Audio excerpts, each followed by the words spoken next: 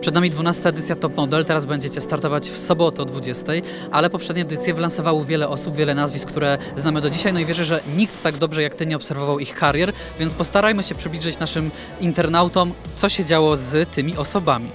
Paulina Papierska, Paulina Papierska e, zajęła się rodziną.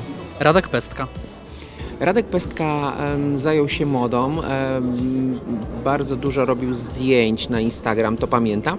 Pracował też e, w, w domu mody Witkac, tam go też widywałem. E, Kocha modę, myślę. Olga Kaczyńska, Olga Kaczyńska, modelka, dużo wyjeżdżała za granicę, showroomy, widziałem ją kilka razy w jakichś takich super egzotycznych podróżach. tutaj chyba kibicowałeś, Michał Baryza, Michał Baryza, tak. Michał, y, szalony, szalony chłopak. ym, Zajmował się modelingiem, ale jednak wrócił do swojej pasji. E, Otworzył, otworzył świetny, świetny, świetny gabinet masażu z e, taką z terapią. I ostatnio usłyszałem właśnie od mojej takiej bardzo bliskiej przyjaciółki, że uwielbia tam chodzić, bo naprawia każdy problem, który chodzi z kręgosłupem. Także jestem e, w sumie bardzo szczęśliwy, że Michał, Michał się tym zajmował i wylądował w tym samym miejscu. Super. szalony uczestnik Michał Gała. Michał Gała. Michał Gała. Myślę, że e, spróbował wszystkiego i jeszcze coś na pewno znajdzie. Zajmował się deweloperką, zajmował się modelingiem, zajmował się śpiewaniem, biciem, e, był na tym ringu, tak? E, e, MMA. E, MMA, tak, także Fame MMA, bardzo dużo rzeczy. Myślę, że kocha życie i, i fajnie, bo lepiej coś zrobić i potem żałować, niż nie zrobić i żałować.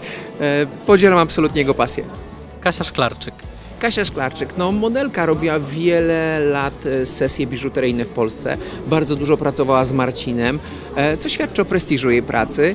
Mm, Widzieliśmy się ostatnio nawet na castingu. Mm, Natomiast mieliśmy troszeczkę inny brief do, do, co do modelek, e, ale chciałbym z Kasią pracować. Piękna dziewczyna. Kasia ma też własną e, markę biżuteryjną, co niedawno ogłosiła, więc też super pomysł. Tyle czasu pracowała w tej biżuterii, że wreszcie się nauczyła. No i bardzo dobrze. Klaudia Nieścior, Klaudia Nieszczor, no Klaudia dopiero zaczęła, trudno oceniać jej karierę, um, no bo, bo to dopiero od niedawna w sumie, Mm, ale cudowna, przychodzi do nas na plan, stara się jak może, zobaczymy co z tego wyjdzie.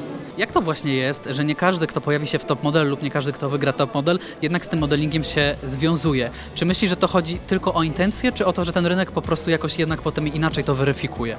Ale czy uważasz, że top modelki zajmują się tylko modelingiem? Absolutnie nie, tylko część z tych osób nie robi tego już w ogóle i nie mówię, że to jest złe, bo każdy ma swoją drogę. Tylko z czego to wynika? Chodzi o to, że każdy robi coś, co daje mu większą satysfakcję finansową i życiową, więc zajmuje się swoim jakby tak core biznesem, a do tego robi modeling, więc jeżeli ktoś zaproponuje Michałowi Gale albo Baryzie, albo Klaudii Nieścior, bądź e, e, któremukolwiek z uczestników sesję zdjęciową, na pewno nie powiedzą nie.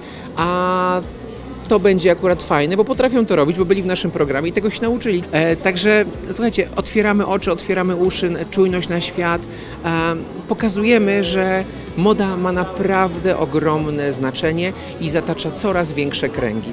Naprawdę biznes, moda, show biznes, to wszystko e, jest dzisiaj bardzo płynne.